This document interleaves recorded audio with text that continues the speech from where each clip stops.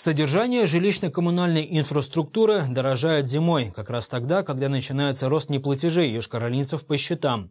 В этом году, по данным Комитета по расчетам и платежам администрации Ешкаралы, долги горожан составили 185 миллионов рублей. Рецепт борьбы с крупными неплательщиками, чья задолженность начинается с 50 тысяч, следующий. Переселять съемщиков муниципального жилья в специально создающиеся на базе городских общежитий квартиры. Есть у властей и метод воздействия на собственников приватизированного жилья, игнорирующих платежи за жилищно-коммунальные услуги.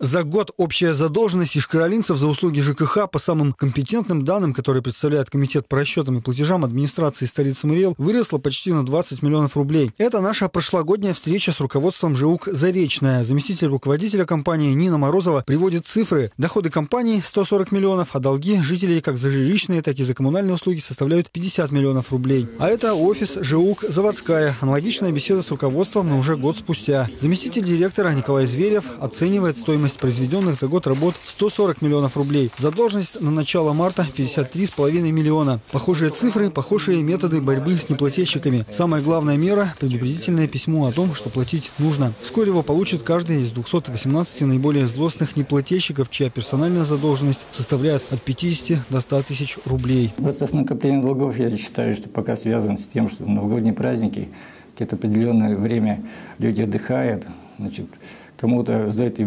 праздники начисления не производятся, то есть люди отдыхают, зарплата маленькая.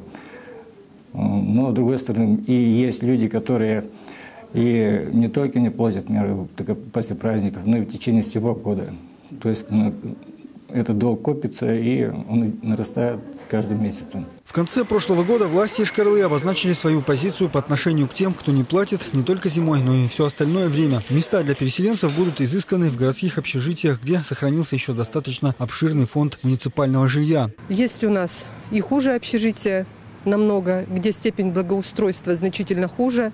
Вот, например, в Семеновке общежитие у нас, э, там выгребная яма, санузел, это все на улице, нет холодной воды, это колонка рядом со зданием, там имеется только электричество и газ. Впрочем, жилье для должников еще нужно подготовить, и здесь проблема решается посредством судов. Битва за спорные территории как раз и проходит в эти дни, причем особо щекотливые ситуации, связанные с репутационным ущербом для столичных властей, доходят до газетных страниц и телевизионных экранов. Другой метод результативного воздействия на неплательщиков связан с прямым вычетом их долгов из зарплат и пенсий. Таким образом, гасят задолженность более 500 жителей Ешкаралы. Ну а собственники и неплательщики в соответствии с жилищным кодексом могут лишиться квартиры после обращения коммунальных организаций в суд и соответствующего судебного решения. Их квартира в этом случае будет выставлена на торги, а из вырученных от продажи денег будет погашен долг бывшего собственника. Все перечисленные меры, кажется, вполне способны решить проблему текущих и даже многолетних долгов. Осталось лишь подождать какое-то время, чтобы сравнить соотношение доходов организации ЖКХ и сумм неоплаченных гражданами счетов. Пока долги составляют примерно треть от общей суммы планируемых поступлений преступлений. И именно они, по мнению специалистов, влияют на качество обслуживания.